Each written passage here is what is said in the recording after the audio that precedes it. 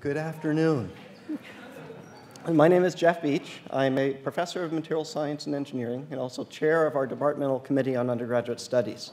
And it's a pleasure to welcome all of you here this afternoon for our 2017 Fall John Wulff Lecture.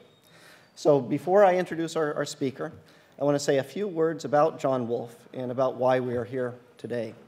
So this lecture is targeted primarily at, at students, primarily at freshmen, to try to introduce you to materials science and engineering and give you some of the background of what we try to do, why we try to do it, and some of the personalities that are involved in making this field and making this department what it really is. So John Wulff is, is shown here. John Wulff was a professor in our predecessor, the Department of Metallurgy, from 1937 until his retirement in 1973. He was a re remarkable researcher and scholar, but some of his most long-lasting achievements are in education. He really helped to define the modern material science curriculum, how we teach it, and how we understand it. So he had a long and illustrious career in teaching. Uh, in 1968, he developed uh, 3091. How many of you have taken 3091? Great. How many of you are in it right now? So you can thank, you can thank John Wulff. Jeff? Excellent.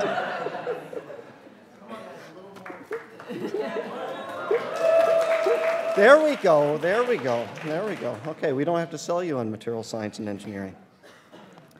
So this, this was and still is a tremendously popular introduction to freshman chemistry. And John Wulff was a riveting lecturer. So you can see him here. This was before the advent of high-speed photography. So in these times, it was very difficult to capture the degree of energy that he brought to his lectures. You can see his waving hands here. Uh, he, was, he was remarkable in, in his field. He and colleagues developed a set of textbooks, so this was back when we taught using textbooks, a set of textbooks called The Structure and Property of Materials. And this really defined the modern pedagogy of, of material science as we, as we know it. And I'll describe a bit of that to you in, in a moment. Um, so what do we, what do, we do? And as, as freshmen, particularly in 3091, you're understanding a bit more about material science and engineering. But material science and engineering, among all the engineering disciplines, is arguably, arguably the most fundamental of disciplines. So many of you coming in know what electrical engineering is, and you know what electrical engineers build. You know what mechanical engineering is, and you know what mechanical engineers build, aerospace engineering, and so forth. But underlying all of these different engineering disciplines is the materials that these engineers use to build what it is that they're trying to build, or really to solve the problem that they're trying to solve. And the limitations of what we can do in these disciplines is by and large controlled with the properties of the materials that make up the solutions. Both the limitations but also the opportunities derive from the properties of these materials that we can engineer. Material science and engineering is built on several pillars, and it's shown here on the left. And we take both approaches. You'll notice that, that our discipline, as opposed to most, includes both science and engineering. And this is shown in this pillar we really try to understand the relation between processing of materials, structure, properties, and society. And what that means, there are a variety of ways to make materials, to build materials from the atomic scale up, how we treat these materials, how we process them, gives rise to their structure. Gives rise to their atomic structure, their molecular and chemical structure, and it gives rise to larger range structure as well, grain sizes and mesoscale and so forth. This structure is what's behind the properties of materials, whether the mechanical properties, electronic properties, or, or what have you. Understanding the relation between how processing gives these structural properties, and then finally how the structure, structure determines the properties of these materials is what we try to do from a fundamental perspective. And we don't stop there. We are driven by societal problems. Many of the problems that are facing humanity, whether they be energy, biotechnology, health, sustainability, are limited by what we can do with materials. And if we had materials that could do what we need them to do, we could solve many of these problems. In our department, in our field, we're driven by these big problems. So coming from the top down, we try to identify what are the big problems, what are the solutions that we need, what are the kinds of materials that we would need to give the properties that would solve some of these problems in energy and health and so forth. And once we know those properties, then we can go in the reverse direction. What is the structure of the material from the atomic scale up that would give rise to those properties? And then how do we produce these properties? And while we use many of the basic tenets of physics and chemistry and biology and so forth, we put all of these together so that we can understand these from the top down and from the bottom up. So the lecture today is to try to describe some of these concepts to you uh, from a particular example that Professor Gibson will describe. She follows in, in, a long string of remarkable Wulff lectures, and the first Wulff lecture, of course, had to be John Wulff in 1977. And I think you will be equally impressed uh, today. So let me say a few words about our speaker. So Professor Lorna Gibson is a, a professor in our department in material science and engineering. She is the Matoula S. Salapatas Professor of Material Science and Engineering, and she studies mechanical behavior of, of materials. So some of the most remarkable materials engineering that occurs is that done by nature. And Professor Gibson's research tries to identify and understand that and then apply it to pressing problems. So she specializes in materials with cellular structure, such as engineering honeycombs and foams. And she uses this to build scaffolding, both in the macro scale, but also scaffolding that allows, for example, the attachment of, of bone or the regrowth of bone, so medical implants. So it's had a remarkable impact uh, on things. She's an inspired instructor. She's had many of the most important awards, teaching awards at MIT. She's a MacVicar Fellow. She's uh, received the School of Engineering Bose Award for Excellence in Teaching. And quite recently, she uh, received the Office of Digital Learning uh, Teaching with Digital Learning Award. And she's, of course, as many of you know, a pioneer in digital education through her courses on MITx. She's also a dedicated bird watcher, and so she's applied this academic background and a good dose of curiosity to figure out answers to perplexing questions, like why woodpeckers don't get concussions. Don't try that experiment at, at home. so, if you haven't seen her web series, uh, Born to Peck, please don't deprive yourself any longer, but wait, wait until the end of the, the lecture. So today she will give us a materials and structural explanation of feathers. So please join me in welcoming Professor Gibson. Thanks,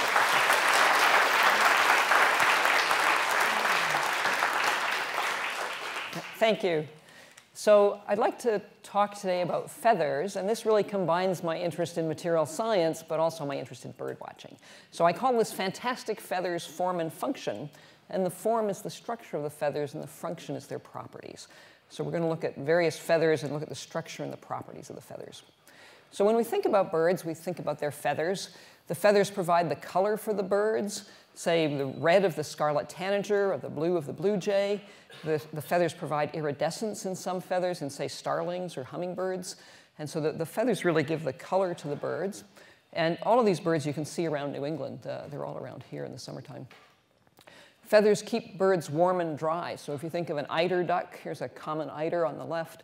Uh, the down in the eider duck keeps the bird warm so that it can, it can survive in the winter. If you go to Cape Ann in the winter, uh, you can see lots and lots of these eider ducks off in the, in the ocean. And you know, the ocean's going to be, what, like three or four degrees Celsius, or Fahrenheit, three, three or four degrees Celsius, something like that. So that the down keeps the birds warm.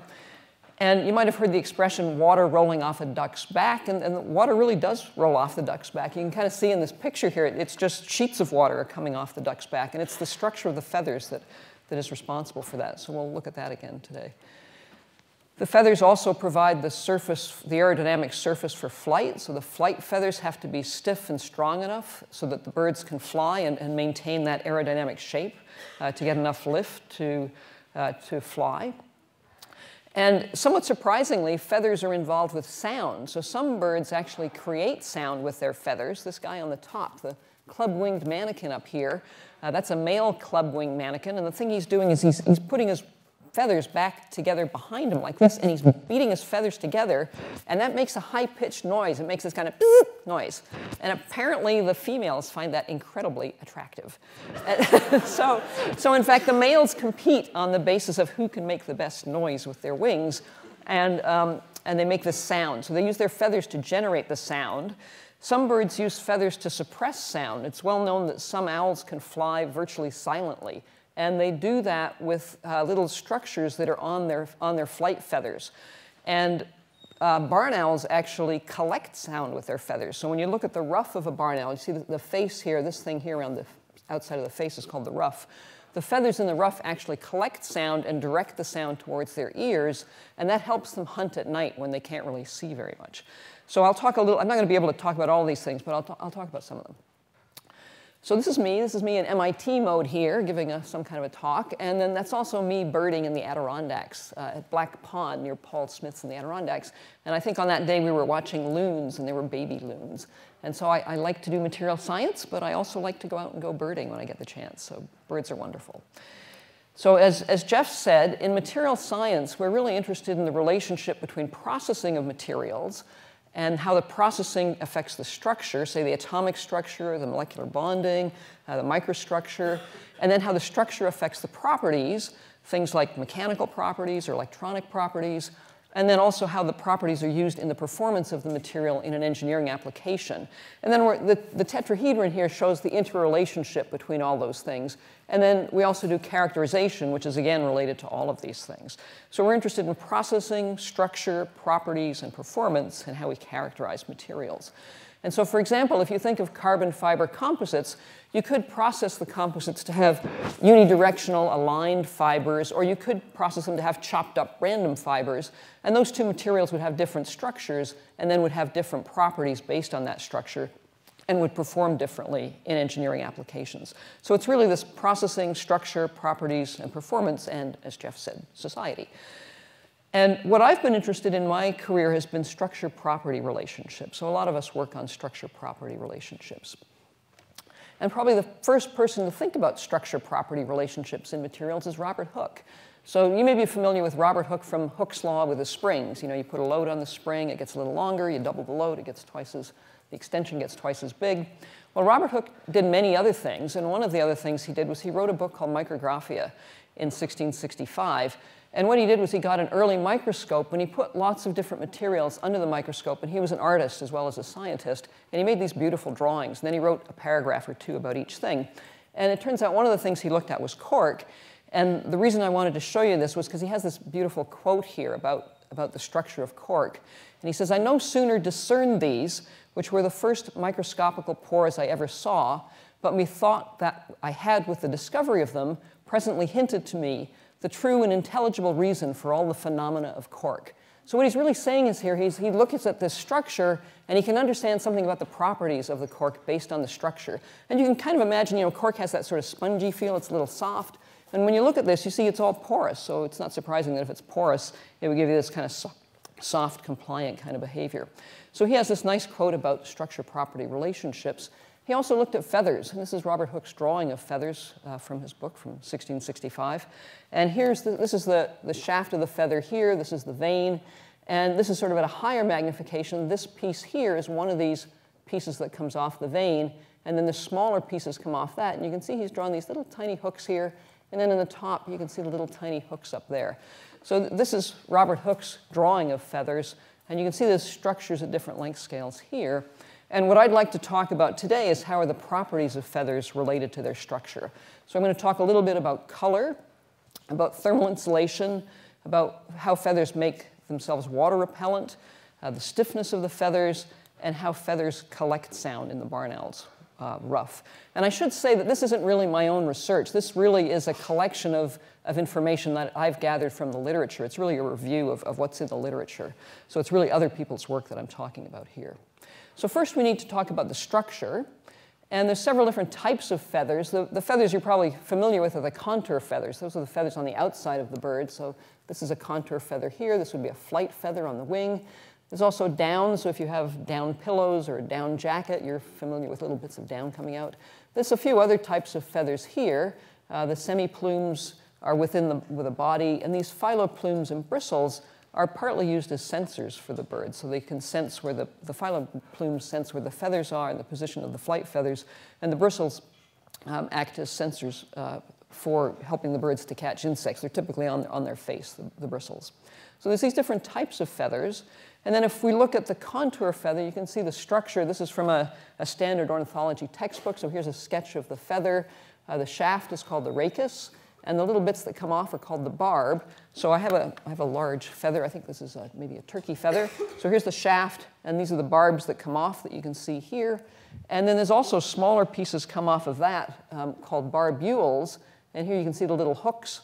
And if you look at this picture here, the hooks on one side of the barb hook into little grooves on the adjacent side of the next um, barb. And so the, the way those hooks and grooves fit together, that's what maintains the, the sort of shape of, of the vane. Those hooks and grooves kind of form the shape of it. And here's some scanning electron micrographs that we took. Isaac Cabrera was a UROP student who worked with me on this. So many of these micrographs were taken by Isaac. He did a great job. He was a wonderful UROP student. These are mallard uh, primary flight feathers. Uh, so here again is the shaft, the rachis. And you can see the barbs, the shaft of the barb there. And then the, here's the little barbules here. And if you take a cross section, you can see this is the shaft here. And it's, it's sort of a, a tubular structure on the outside, and it's got kind of a foamy structure on the inside. And this is the shaft of the barbs, and then the, the vane is up here. And this is a higher magnification picture. Again, you can see the vane here. Here's the little grooves. There's a couple of little hooks.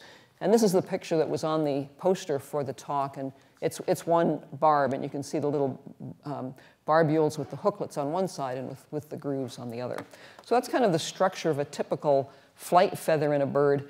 And you can see from the scale markers what the, the scale of some of these features are. They're tens of microns or even single microns. Uh, just for comparison, a human hair is about 50 microns. And when you think of the feathers, they grow out of a follicle the same way as your hair grows out of a follicle. So all of this structure is growing out of a follicle, the same as, the same as your hair grows out of a follicle. Uh, I also want to talk a little bit about down. So here's the structure of down. Here's our little eider duck swimming along. And here's a single down feather. If we look at that in the microscope, uh, this is one of the barbs, and these are the barbules. So you can see it's got a very different structure. It's much less organized than the contour feathers. But one of the interesting things is these barbules have little, little um, sort of projections on them that are called nodal prongs. And it's thought that that helps to keep the barbules separated so that they trap air, and trapping air is important for the, the thermal insulation of the feather. So that's the structure of the down.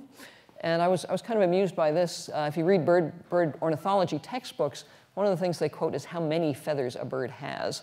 And in the 1930s, you remember during the Depression, the Works Progress Administration, one of their make work projects was to get people to count the number of feathers on birds so, you know, ornithologists were hiring people to count the number of feathers, and it turns out that a robin has about 2,500 feathers on it, and a, humming, a ruby-throated hummingbird has about 1,000, and a tundra swan has about 25,000. More recently, just a few years ago, some people looked at emperor penguins. They, instead of counting all the feathers, they just took a small sample and then, you know, extrapolated for the surface area of the bird. But man, do they have a lot of feathers? Like really, you know, 135,000 feathers. That's a lot of, a lot of feathers. Okay, so I want to talk about the different properties, and let, let, me start with the color.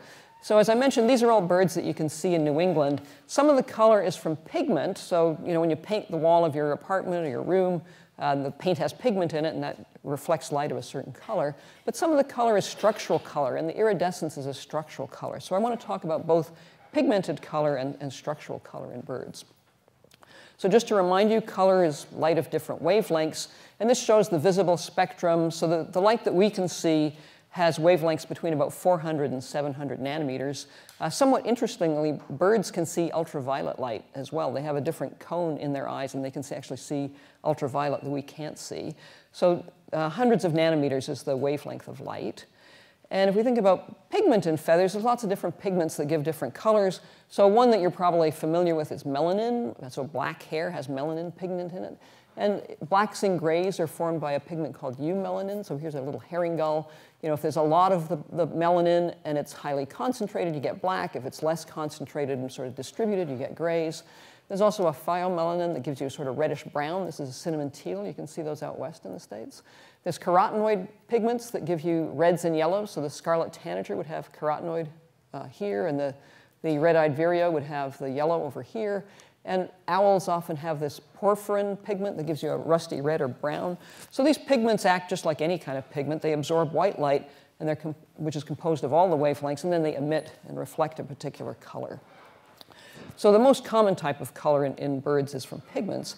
But some birds have structural color as well. And some birds have iridescent feathers, and that really is a structural color. So this slide here just shows some different uh, natural examples of, of iridescence as, as, well as oil on water. So this is a hummingbird, and you can see the feathers on the throat are iridescent. Lots of butterflies and moths have iridescent uh, wings.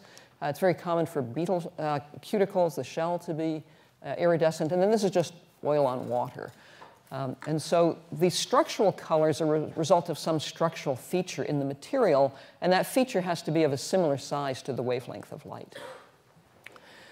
So here's the ruby-throated hummingbird. One of the characteristics of iridescence is that the color changes with the viewing angle. And you can see here, when you see the ruby-throated hummingbird dead on, it, it does look ruby-throated. It's got this red. But when it turns around, it's the same species of bird. It, it looks sort of a greenish-black color. So the color that you see depends on the viewing angle. And that's typical, uh, that's a typical characteristic of iridescence. One of the things I like about, uh, about the word iridescence is it comes from the Greek god Iris, and Iris was the personification of the rainbow. So it seems appropriate that if the color changes with the viewing angle and you get different colors, iridescence is based on the, the god for the rainbow. And Iris was also the link between the gods and the natural world. So one thing we need to understand to understand iridescence is waves that are out of phase and in phase. And I, I, suspect most of you are aware of this. If you have waves where the, the troughs and the peaks um, are opposite to each other, then the waves are out of phase and you get destructive interference. So if you have a wave A here where the, it goes down at first and B goes up at first, those two are going to cancel out and give you nothing.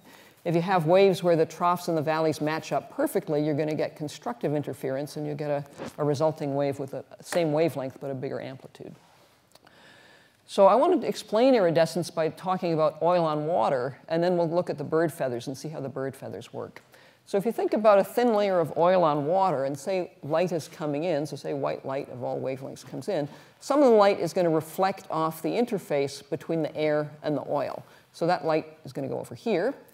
But some of the light is going to go through the oil layer, and it's, some of it will bounce off of the interface between the oil and the water, so it'll go up through this path here and then it'll come up on this path over here. And most of the wavelengths for the light that went on this path and the light that went on that path, most of those wavelengths are going to be out of phase and they're going to cancel out and you're not going to see anything from that. But some of the wavelengths, there's going to be a small number of wavelengths where the wavelength of this uh, reflected light plus the wavelength of that reflected light is going to add up and you're going to get um, uh, constructive interference. And that's the wavelength of light that you'll see. So why does the color depend on the viewing angle? Well, I've, I've taken this image here and I've just sort of smushed it sideways. I've contracted it uh, from left to right. And you can see that when you do that, this viewing angle here changes. That angle is different. But also this distance ABC here, when we're looking at a different angle, that distance ABC is different. And because that distance is different, there's going to be a different wavelength that is interacting constructively, and so you're going to see a different color. So when you have a system here where you've got different surfaces and the light is uh, reflecting off these different surfaces, you can get iridescent type uh, behavior in, in, the color. So this is how it works in birds. This is the satin bowerbird. It lives in Australia, in Queensland. And they're quite beautiful. They have this sort of iridescent, bluey, purpley kind of feathers. And in this study here, they took uh, the, the rump feathers, so here's the feathers themselves, and here's a scanning electron micrograph of the structure of the feathers. So here's, you know, here's the barb here and the little barbules coming off. And then they took a cross section of the barbule. So this is now five microns. And this is what the barbule looks like. And these little black dots are all melanin pigment.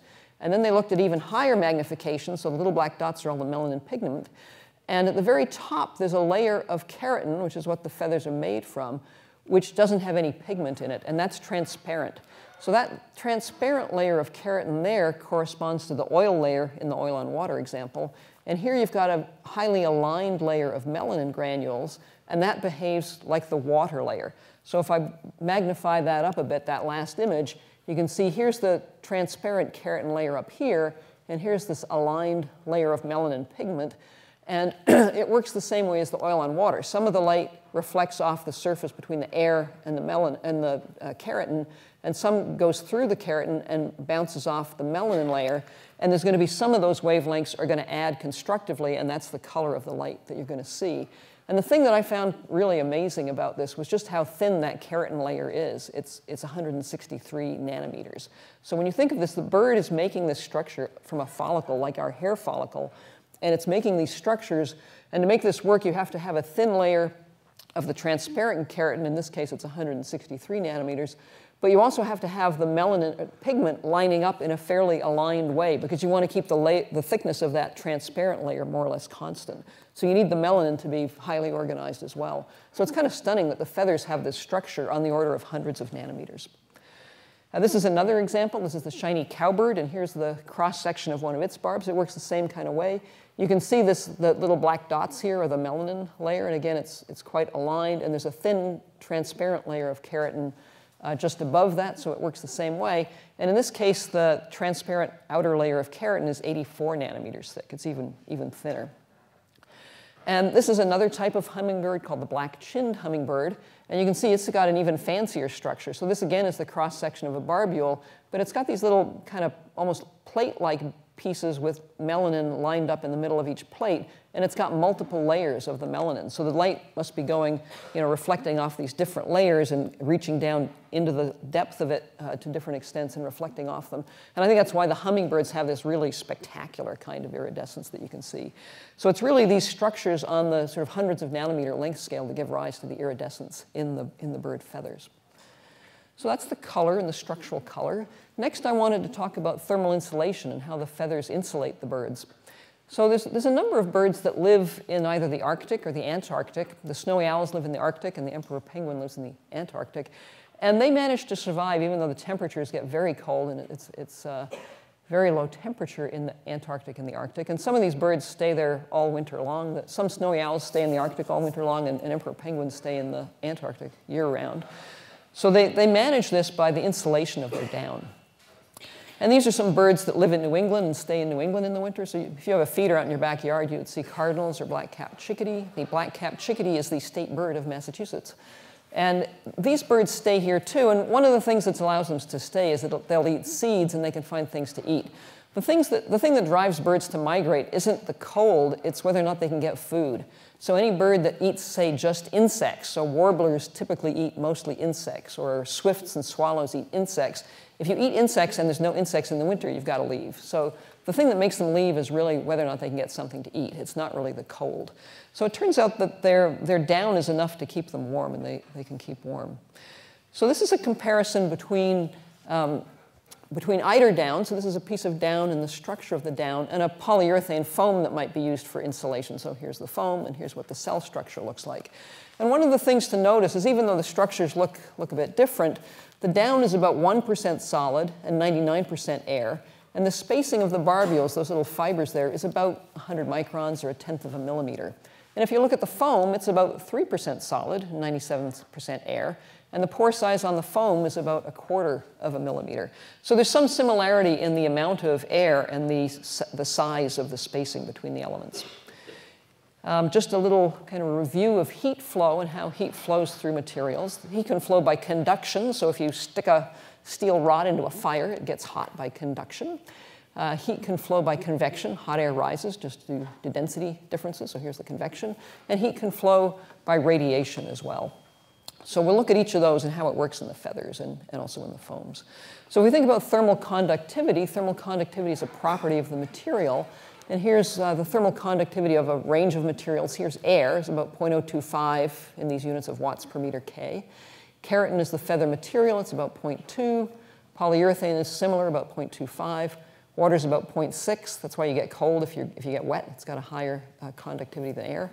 And copper is something like 400. So there's a huge difference in range here. So air is actually a pretty good thermal insulator. It does not conduct heat very well. And if you look at the down feathers, they're about 99% air. So that if they're 99% air and the air has a low conductivity, that's going to help insulate the bird. And then they're about 1% of the solid keratin. So just having a lot of air uh, trapped in the down, and partly it's trapped by those nodal prongs I showed before, that really helps reduce the conduction and increase the insulation. If we look at the other mechanisms, and, and one way to think about it is to look at how it works in foams. If you think of uh, heat flow in foams, you can have heat flow by convection. So the warm air is going to rise, the cool air is going to flow, uh, fall, and you would get a convection current set up. But it turns out that there's also friction between the airflow and the walls of the cells. And because there's, air, there's uh, airflow along the wall, you get some friction and if the pore size is small, the friction suppresses convection in foams. And it turns out if the, if the pore size is less than a few millimeters, you can suppress the convection. So in foams, convection is not very important. And if you think about heat flow by radiation in foams, say you had a hot side over here, a hot temperature over there, and a cold temperature over there, at each of these cell walls, the radiant heat is going to be, some of it's going to be absorbed and reflected. So the smaller the pores, the more times the heat's absorbed and the less heat is tr transmitted. So the small cell size tends to reduce the heat flow from radiation. And so similarly in the birds, in the feathers, uh, in the down, the conduction is reduced by having a high volume fraction of low conductivity air, and the convection and radiation are reduced by the small spacing of the barbules. So the structure of the down is partly responsible for the low thermal conductivity and the high insulation value. We can do a few little sort of back of the envelope type calculations. The conduction through the air is just the conductivity of the air times how much air we've got, so it would be this number here. The conduction through the keratin is the conductivity of the keratin times how much keratin, about 1%. And this is just sort of an efficiency factor to account for the fact that the keratin is not totally straight fibers running from one side to the other. Um, there's been measurements made of the radiation heat transfer in down, and it's in this range here. And then the overall conductivity of the down is just the sum of those three numbers, so I've added them up here. And the sum of those adds up to about 0.3, 0.036 watts per meter K, and people have measured values in the range of about 0.03 to 0.045. So that sort of simple calculation seems to be at least in the right ballpark. And other things birds do to reduce their, their heat flow and to stay warm is they, they do this fluffing up routine. So I have a friend, Alison Curtis, who lives up in northern Ontario, and she has a little feeder. And this is a picture she took. And you can see the chickadee is all kind of, his body's almost spherical. He sort of fluffed his feathers out so much. And when they do that, they're really trapping more air in their feathers. And they're also making themselves more spherical. And, and the sphere has the lowest surface area per unit volume. So you've got less sort of surface area for the heat to flow out of. So they do this cute little kind of fluffing up routine as well. So the thermal conductivity of the feathers and the insulation value of the down is, is uh, controlled in part by the structure of the down. The next thing I wanted to talk about was water repellency and how the water flows off the duck's back. So here's our little duck. Um, birds have something called a preen gland, and it's at the base of their tail. And you sometimes see birds kind of with their beaks kind of scratching around at the base of their tail. And this is a crossbill, and it looks kind of weird, but this is its beak here, and it's trying to get at the preen gland there. And the preen gland has oil in it, and then it rubs its beak over the feathers and, and sort of uh, preens them with the, with the oil. And for a long time, ornithologists thought that it was this preen gland oil that made their feathers water repellent. But it turns out other people have taken the feathers and then cleaned all the oil off, and it turns out they're still water repellent even if you clean them all off. So what, what is it that makes them repel water and makes them hydroph hydrophobic? One way we characterize how hydrophobic a material is is we measure the contact angle. So the contact angle is a measure of the spreading of the water on the surface. So this is just a piece of glass down here, and that's a little water drop. And the contact angle is just the angle between the surface and the tangent to the outer edge of the drop. So for this water on glass, the contact angle is around 14 degrees. Uh, here's some other examples. Here's the glass. This is water on wax. The contact angle is around 100 degrees. And this is a, a, a, Canada goose feather shaft, and the water droplet sits like that. And the contact angle is around 90 degrees. So the larger the contact angle is, the more the water beads up, and the more water repellent the material is, the more hydrophobic it is. So these images here were just taken with my iPhone on my kitchen counter. Um, it turns out there's a more sophisticated way to measure contact angle. So we have a goniometer in the department, and Isaac, the UROP student, um, did some measurements with Gita Barrera. So uh, it's just hard to see the drop here, so that's why I use the other ones as well. So here's some measurements of the contact angle for glass. Water on glass is about 7 degrees. Water on paraffin is about 109. And on a Canada Goose shaft, it's about 102. So, so you can see um, partly these different surfaces, these different materials have a different um, contact angle and a different amount of hydrophobicity. So what is it about the material, what, about, what is it about the surface that makes them have, different materials have different contact angles? And it turns out materials have a surface energy. So imagine that you've got a nice little crystalline material here. If you're an atom in the bulk of the material, you're going to see bonds in all directions out here. But if you're an atom on the surface, you're going to see just bonds in some directions. There are no atoms on top of you. And so there's going to be some unbalanced bonds there. And there's a surface energy associated with that. You know, another way to think about this is if you have a material and you break it into two pieces, you form new surfaces and it requires some energy to form those new surfaces. So materials have a surface energy and materials that are more strongly bonded tend to have higher surface energies than ones that are more weakly bonded. So here, here's our example of the water on glass and the water on wax again. So the, the water is going to take up a shape that minimizes that surface energy. The surface energy of the glass is around 3 joules per meter squared. The surface energy of the water is about 0.072 joules per meter squared. So to minimize the surface energy, you want to have less glass and more water, so you want the water to spread out on the glass. On the wax, the water has a slightly higher surface energy, and so you want, oops, sorry. So the water is going to uh, bead up more and try to minimize the amount of, of surface area there. So this contact angle is a measure of the, um, how water repellent the surface is, and it depends on the surface energy of the material. So in part, the feathers get their water repellency from the surface energy of the keratin, but it turns out that's not the whole story. Uh, in World War II, there were two scientists, Cassie and Baxter, who were interested in military greatcoats. They were interested in those British wool military greatcoats, and they wanted to make them more water repellent. And they realized that wool that these coats were made of was made up of fibers. They worked at the Wool Industries Research Association, which I think is an incredibly English kind of place to work. Um, so anyway, they were trying to look at trying to make the, these wool greatcoats more water repellent. And the thing they realized was that if you have just a solid surface, you're going to get a certain contact angle. But if you have parallel fibers, you might get a different contact angle. And what they realized was that the water droplet might bridge between two fibers. So imagine these are like parallel fibers. And they calculated an apparent contact angle for an array of parallel fibers, and they did that based on these surface energies. And they found that you could increase the contact angle if you got just the right spacing and diameter of those fibers. And then they went on, in the same paper, they went on and looked at duck feathers. And they measured for these, I think they measured the barbules, they measured the radius and they measured the spacing. And um, there's a, a, sort of, this is a simplified version of their uh, equation for the apparent contact angle based on the flat surface having a contact angle of 90 degrees.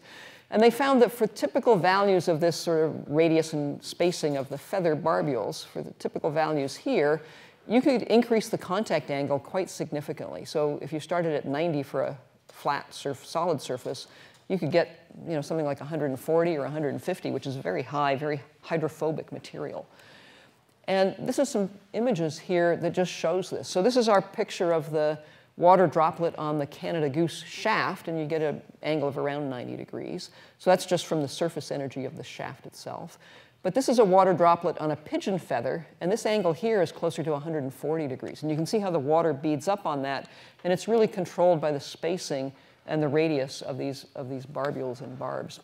So they, were, they measured, this is a study by Bormashenko and his group. Uh, and they measured these much higher contact angles. And then, of course, I had to have Isaac do the same thing. So here's the contact angle on the shaft, about 102 degrees in the goniometer. And here's the same feather measuring the uh, contact angle on the vane, and it's about 142 degrees. So partly the hydrophobicity, the water repellency, comes from the keratin and the surface energy of the keratin, but it also comes from the arrangement of the fibers as well and the structure of those fibers. And Cassie and Baxter have this lovely quote in their paper. They say, It's sufficient to note that water rolls off a duck's back because of the structure of its feathers rather than because of an exceptional proofing agent, and that man's attempt to make clothing with the water repellency of a duck should be directed to perfecting an appropriate cloth structure rather than, as at present, searching for an improved water repellent agent. And I noticed today's a rainy day, and if you wore your Gore Tex coat in today, uh, many of those Gore-Tex type fabrics have something called a durable water repellent coating on them.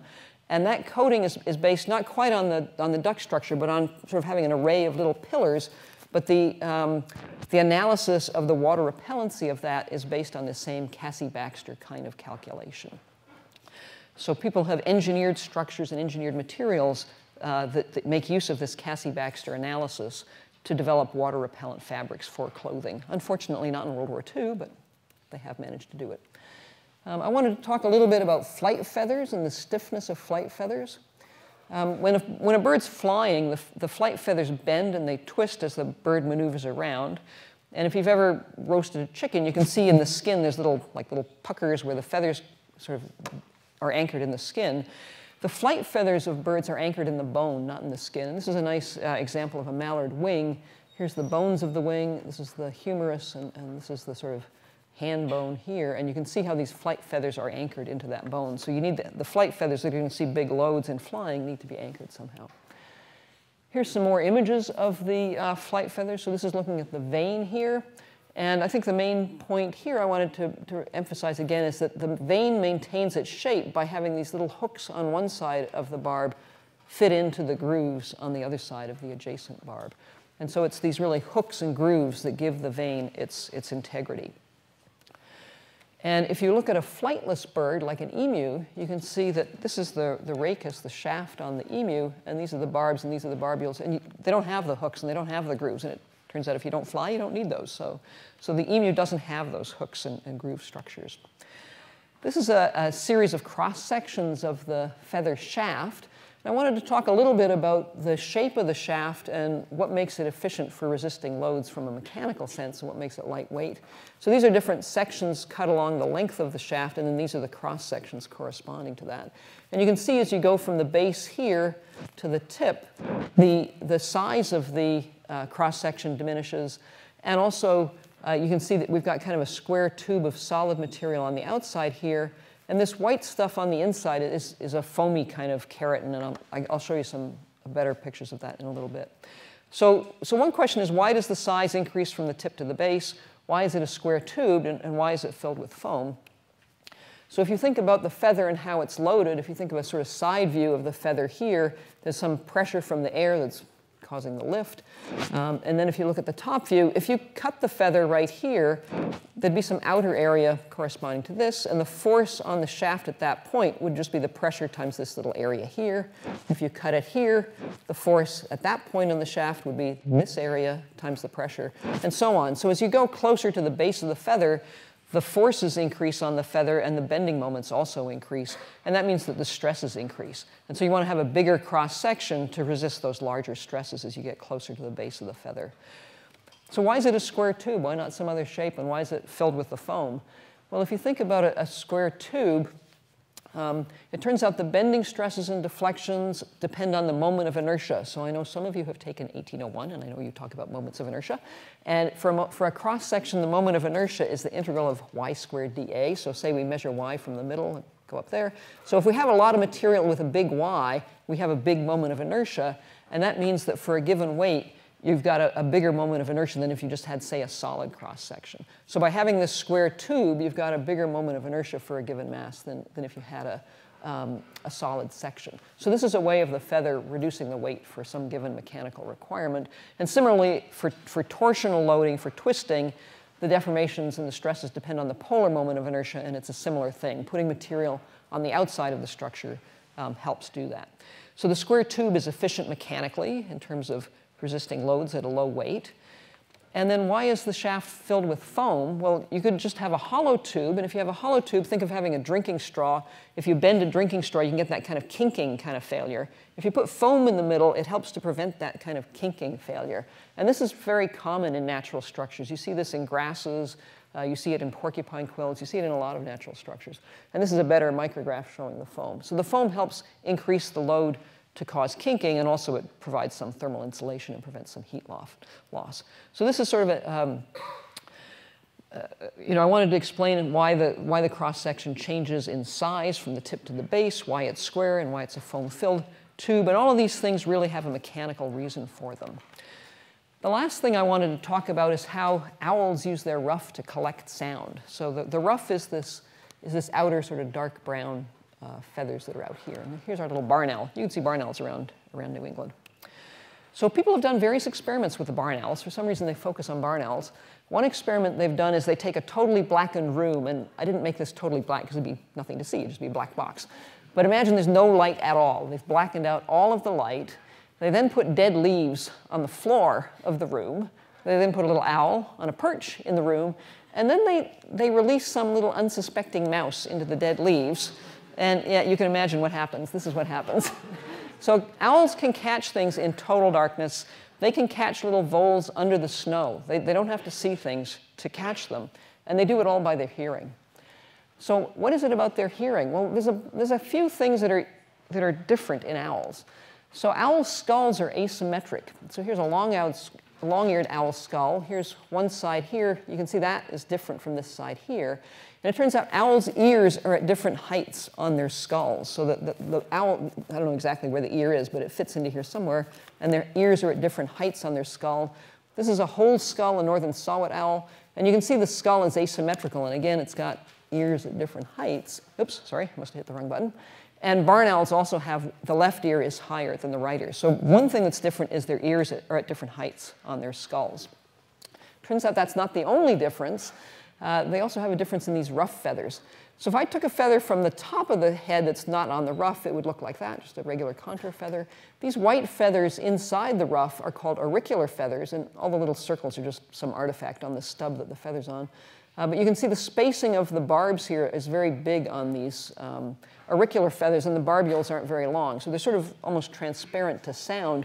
And the idea is the sound is transmitted through those auricular feathers. And then the feathers on the outside here of the ruff, the sort of darker brown ones, those are called reflector feathers. And you can see here the, the barbs and the barbules are tack, packed very tightly, and those actually do reflect the sound. Uh, these are similar pictures, just at a slightly higher magnification. So the, you know, the sound transmits through these ones and reflects at those ones. And it turns out these ruff feathers are also asymmetrical. So on the right side, the feathers are more upward facing, and they preferentially focus sound from above into the right ear. And on the left side, the, the ruff feathers are more downward facing, and they focus sound from below into the left ear.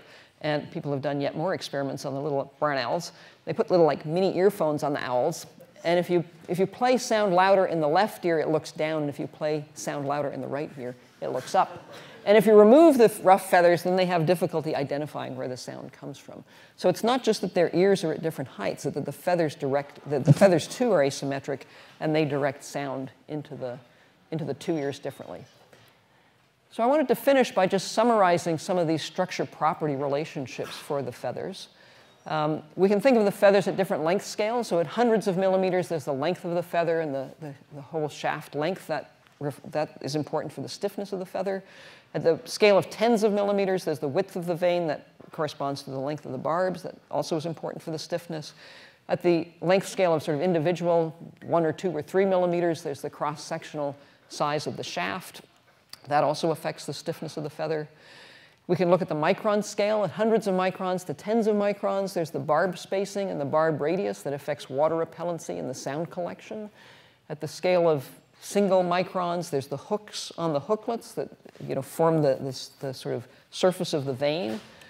And then at the level of tenths of microns or hundreds of nanometers, there's the structural color uh, transparent keratin la layer that I mentioned at the beginning, and that gives rise to the iridescent color in the, in the, um, in the in the birds. So this final slide just shows some of these different features, and, and I hope what you can take away from it is, is an understanding that the structure of the feathers gives rise to all these different properties. And sometimes when I give this talk for material scientists, I don't call it fantastic feathers form and function, I call it hierarchical structure and multifunctionality, because that seems like more of a material science kind of title. So this just sort of summarizes these different structures. And uh, I'd like to acknowledge Isaac Cabrera. He was a fantastic UROP student who took many of these images. Gita helped him with some of the contact angle measurements. Chris Schuh, our department head, has been wonderfully supportive of my sort of idiosyncratic bird project. And Jeremiah Trimble is one of the curators at the ornithology department at Harvard's Museum of Comparative Zoology. When I want barn owl feathers, I talk to Jeremiah. I have many, I, there's more I've got on feathers, but it wouldn't fit into an hour's talk, so I didn't put it in here. When I want desert sand grouse feathers, I go talk to, to Jeremiah. You know, when I want whatever kind of feathers, when I want barn owl skulls, when I want all these different bird things, Jeremiah lets me either borrow them or go up to the museum and take photographs of them. So I could not do this project without the Museum of Comparative Zoology. So that's my talk. I'd like to finish there. Thank you for your attention.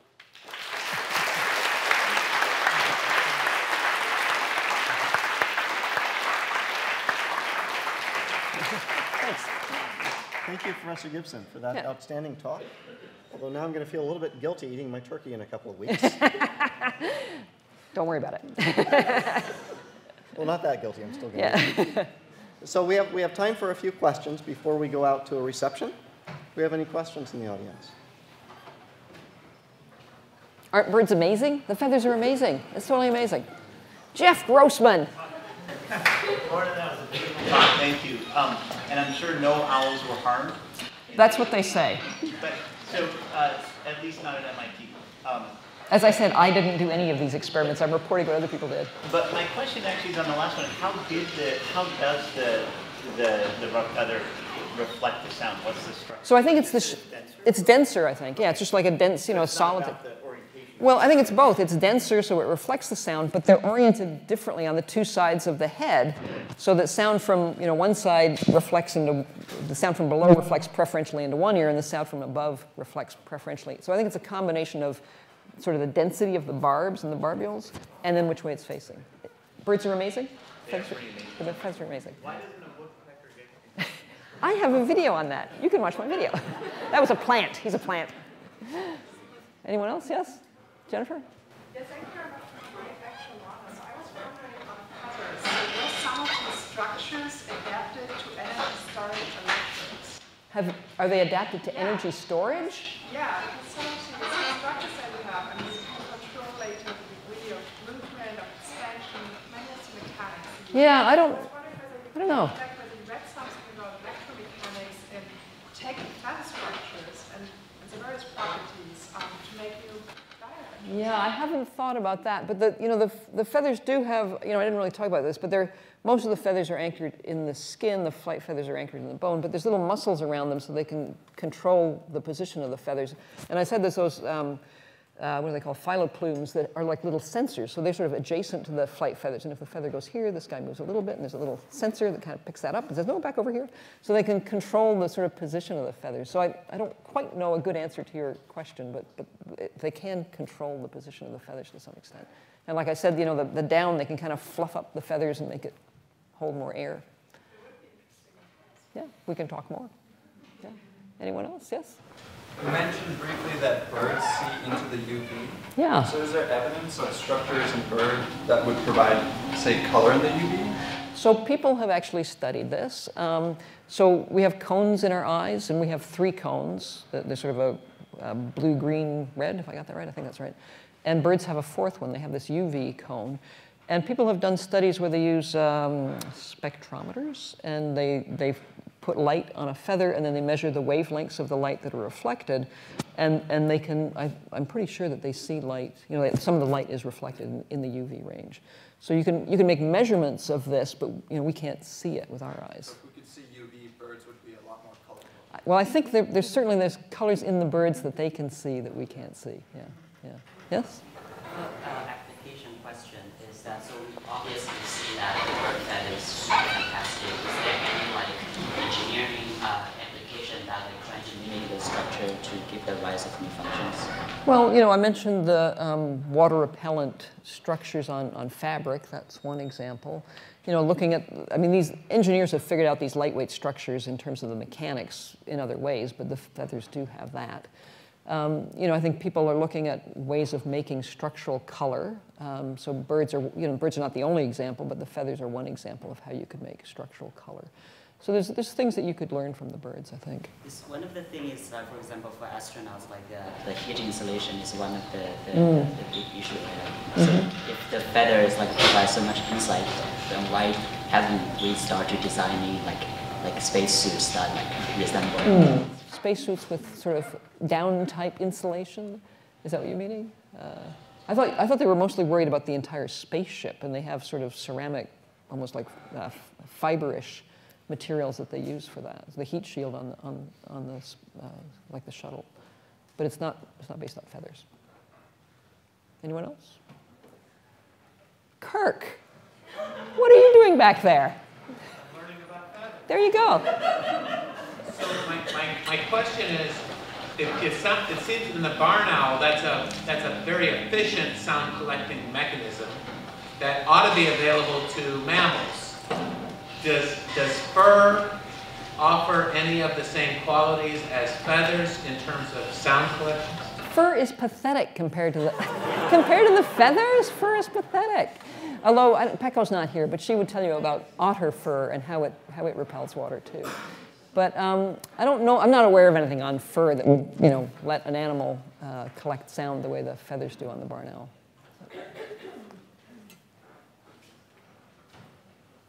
Are we good? Okay. Okay. Okay. So with, with that, thank you all for joining us. Thank you for, for